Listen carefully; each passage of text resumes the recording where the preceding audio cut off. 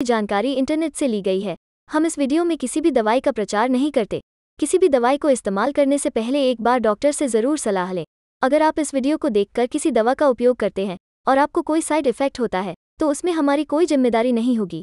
लिजा दस टैबलेट का उपयोग सिजोफ्रेनिया, एक मानसिक विकार जिसके परिणामस्वरूप मतिभ्रम या भ्रम हो सकता है, और किसी व्यक्ति की सोचने और व्यवहार करने की क्षमता पर प्रतिकूल प्रभाव पड़ता है और उन्माद के उपचार में प्रयोग किया जाता है।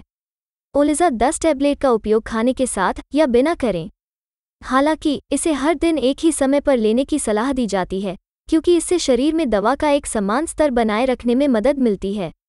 इस दवा को अपने चिकित्सक द्वारा बताई गई खुराक और अवधि में लें, और यदि आपने एक खुराक को याद किया है तो जैसे ही आपको याद आए, इसे ले लें। अपने डॉक्टर से बात किए बिना इस दवा को अचानक बंद नहीं करना चाहिए, क्योंकि इससे आपके लक्षण और खराब हो सकते हैं। इस दवा के कुछ सामान्य साइड इफ़ेक्ट्स में मुँह में सूखापन, कब्ज, मांसपेशियों में जकड़न और बेचैनी शामिल हैं। प्रारंभ में, जब आप स्थिति बदलते हैं तो यह दवा रक्तचाप में अचानक गिरावट का कारण बन सकती है। इसलिए यदि आप बैठे हैं या लेट रहे हैं तो धीरे धीरे उठना बेहतर है। यह चक्कर आना और नींद आने का भी कारण बनता है। इसलिए जब तक आप यह नहीं जानते कि यह दवा आपको कैसे प्रभावित करती है, तब तक गाड़ी न चलाएँ। या ऐसा कुछ भी न करें जिसमें मानसिक ध्यान केंद्रित करने की आवश्यकता हो।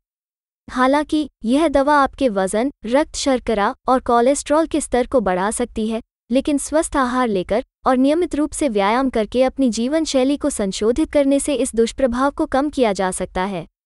आपको सतर्क रहना चाहिए क्योंकि दुर्लभ मामलों में यह बहुत अधिक रक्त शर्करा के स्तर या दौरे जैसे गंभीर दुष्प्रभाव पैदा कर सकता है। वीडियो को पूरा देखने के लिए धन्यवाद।